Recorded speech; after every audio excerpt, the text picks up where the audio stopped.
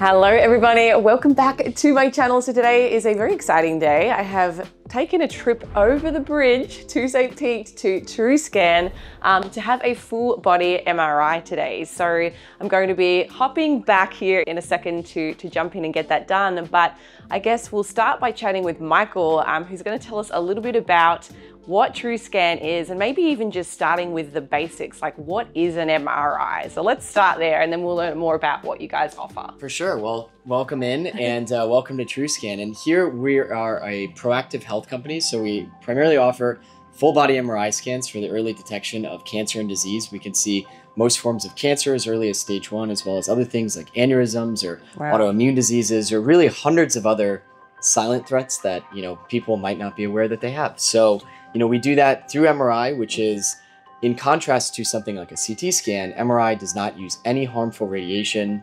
We don't use any contrast, so it's a very non-invasive study. Very safe. It's it's yeah. very safe. Yeah. Yes, exactly. And it only takes 60 minutes. So you get your results within a few days, and there's a very lengthy radiology report that goes through all the different major systems of the body from head all the way down to your ankles, mm-hmm. uh, including your entire spine and all the major organs. And we thoroughly assess them for any forms of disease that might be lingering. Yeah, I was looking on their website actually uh, just this morning, and I think there are over 500 different conditions um, that you can, I guess, look for with this MRI scan. That's so, right, yeah. And you can actually go on our website, and there's a, a page of conditions that you can search if you have particular questions, you know, about what the scan might be able to detect. Yeah. Now I have another question because I know you guys are not only interested in your health and well-being in general, but for my audience, you care a lot about muscle as well. So if you followed me in some of the other educational pieces that I've put out recently, I talk a lot about MRI in the context of being able to measure your muscle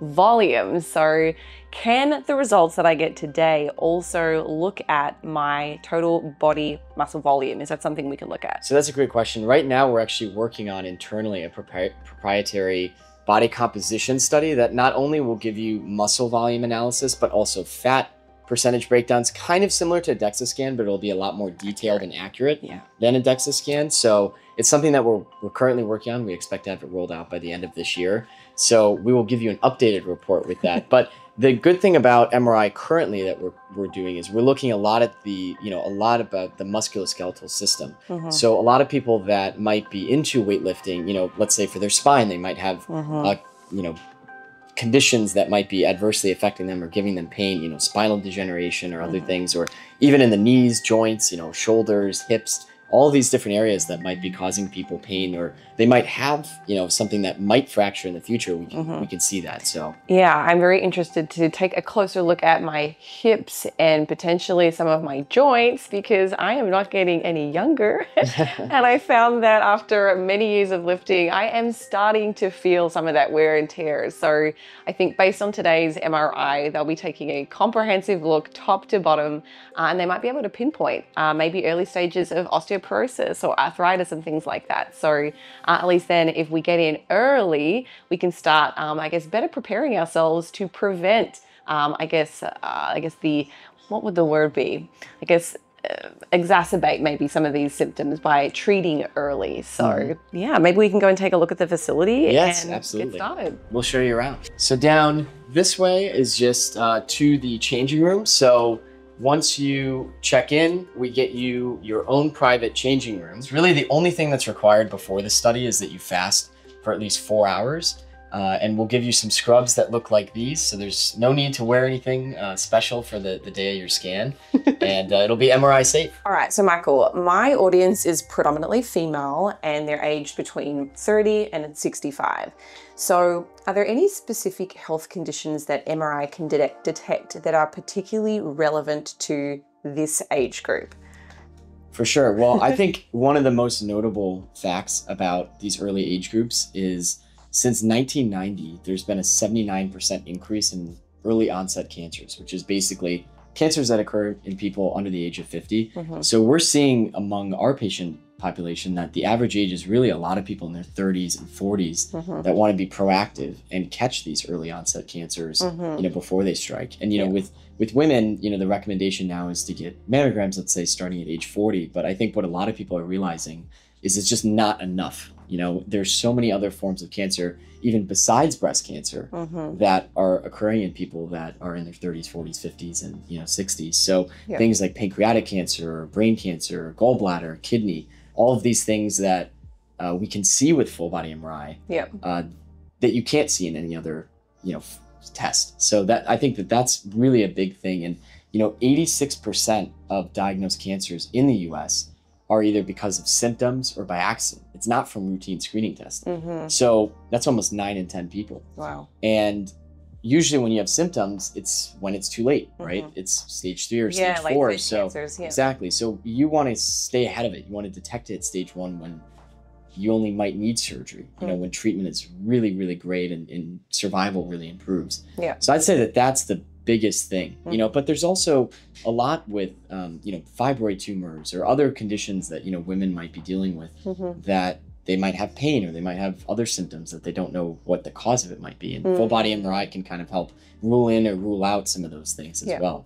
Now, how frequently do you recommend um, patients come in for retesting? So, if I've come in today, I've had my full body MRI, like what's the recommended follow up um, for someone of my age? I'm 30, 36. So uh, in the report, the radiologist will include a recommended follow-up date, but the most common one is 12 to 18 months. Mhm. So usually what people elect to do is just get it every year. So Yeah. that way, if anything does change, we're able to track that you know, Mhm. from your baseline scan, which will be today. Yeah. And then a year from now, we'll be able to see if, you know, if there was anything that we saw or if something new came up, Mm-hmm. then you're like, okay, well, at least we know, you know, what changed in the last year. And I, I like to say that the hardest scan, you know, for people to kind of um, get through is the first one because, you know, you've gone this Mhm. many years without ever having a scan, right?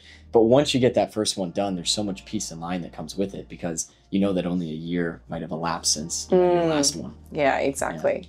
All right. So, I guess next is let's go get scrubbed up and ready to go. Let's do it. Okay. So the difference between a CT and an MRI is inherently in the physics of what drives them. CT scanners they look really at um, it's really fast slices, so it's useful for imaging things like the coronary arteries that are very small and there's movement involved because it can take these really fast slices. So for like your cardiovascular system, uh, you know CT might be the preferred modality uh, or imaging, you know, very, very small areas of the body. But when it comes to soft tissue and imaging really the brain or, or many of the major organs, MRI is just preferred because we can see things like solid lesions, which is like cancer, for instance, Mhm. much better on MRI. And, you know, when imaging things like the brain, it's incredibly detailed. And we also image, you know, like the carotid arteries of the brain and the carotid arteries of the neck as part of our full body MRI. So we see that well.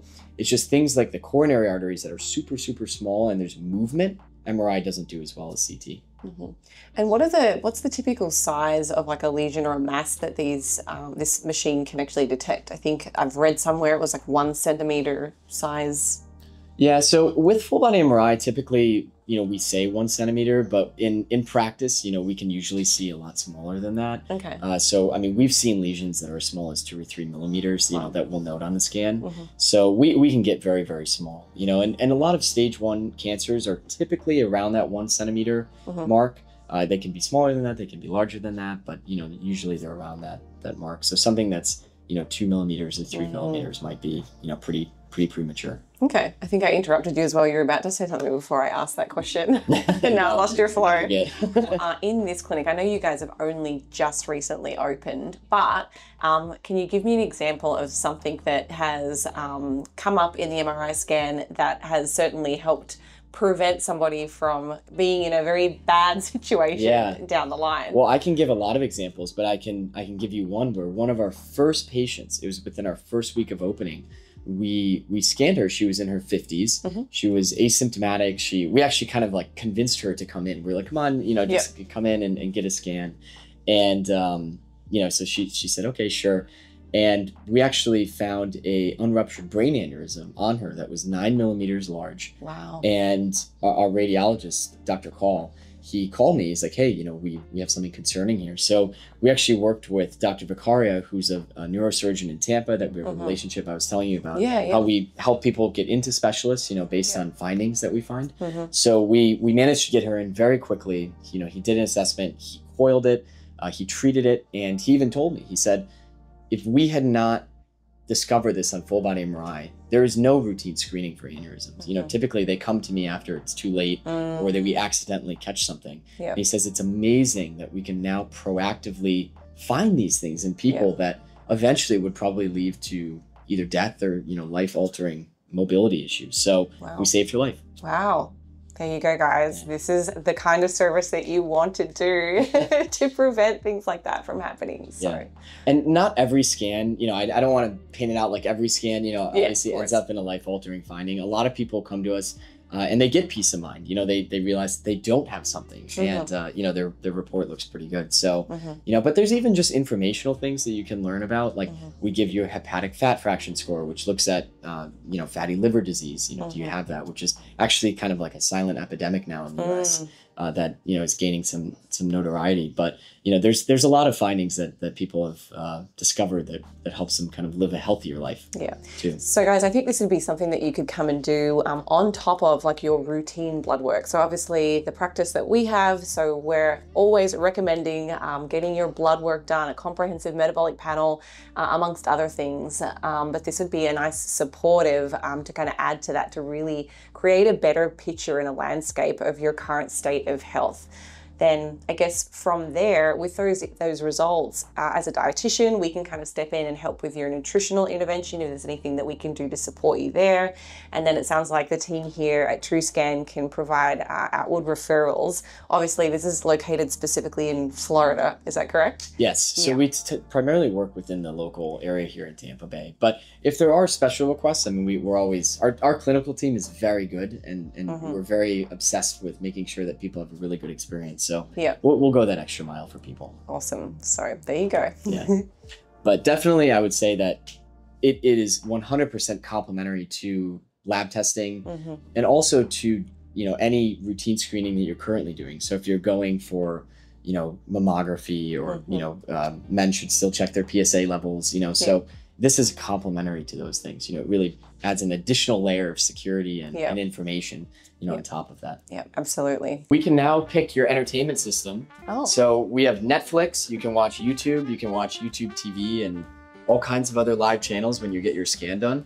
So do you know what you might want to watch? Oh my goodness. You can also take a breeze through. Let me have a look here, because I'm good at TV. 51st States, why not? Yeah, it's a great. That's a good classic. That's a You'll be in here for about 60 minutes Mhm. and we'll get, uh, yeah. Yeah, no, no metal, right? Yeah, I know. Uh, so Jacqueline will take good care of you and she'll speak with you throughout the entire exam as well. So she'll be with you through a two-way intercom. You can talk to her at any time. She'll talk to you and she'll get you started. All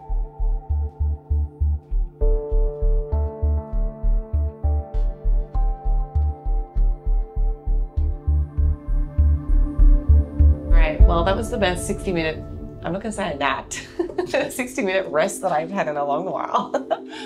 um, all right, so I am looking here at, uh, I guess, all things. Do you want to go So- through this? Definitely, yeah. This so these this is you. Yeah. This is your all the way on entire full body. So these are a couple different sequences. Uh, th- these two here are a T1 and T2 sequence of your entire body. So you can see the brain working all the way through the chest, the abdomen, the pelvis, the legs, even the ankles. Mhm. And so this is what our radiologists look at when they're analyzing, and they'll also look at your medical intake Yep. to see if there's any you know particular concerns or anything. But uh, this is essentially what they look at. And um, here on the right, this is our it's called a sagittal spine. So we're looking at the entire spine, all the way from the cervical all the way down, and we can see another aspect of the brain here as well. So.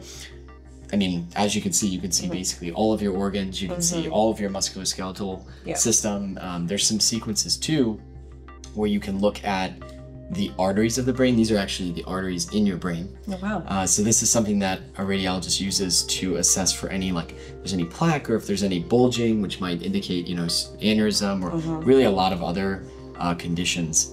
Um, so yeah, and then you know this is an example of a brain sequence as well. So Mhm. it kind of goes through from bottom of the head all the way you know to the top. Yep. Uh, so you can see things like brain atrophy or if there's any demyelination Yep. uh, any white matter lesions that might indicate you know some certain pathology so yeah this this is really how we screen though the entire body and if you go to you know just a normal imaging center they're really not able to give you this kind of clarity so Mhm. you know we're, we're really developed like a specialized protocol to be able to do full body imaging in Yeah. the 60 minutes and make it diagnostically accurate. Okay, and are we going to sit down with the radio- uh, radiologist today? Radio- Uh, so the radiologist will review these images and you'll get your report within a few days, typically within 48 hours. Yep. And then a physician on our medical team, you'll be able to schedule a call with them once your results are ready. yeah. So either Dr. Lazara or Dr. Summers, and they will go through all of your results. It's like a 15-page radiology report Oh, wow. that they go through. So and it, and it breaks it down literally from head all the way down, you know, throughout the body, Mm-hmm. uh, and categorizes all of those findings for you. So they'll explain everything in detail. Yep. And if there's any follow-up that you need, they're you know Yeah. happy to be a resource for you. We also mail you a CD so you have all your scan images, but everything can be accessed digitally too. Yeah. So Okay. Yeah. Oh, very cool. Um,